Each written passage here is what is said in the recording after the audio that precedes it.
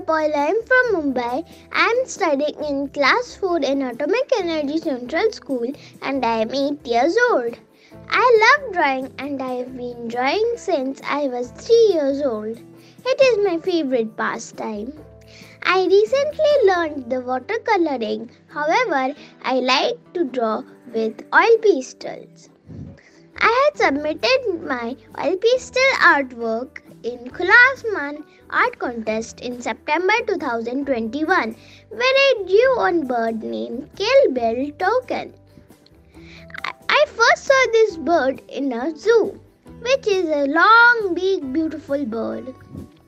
I love to watch birds. Birds are cute and make our nature beautiful with their beauty and melodious voices. Therefore, I gave the title of my artwork as Birds Make the Nature Perfect.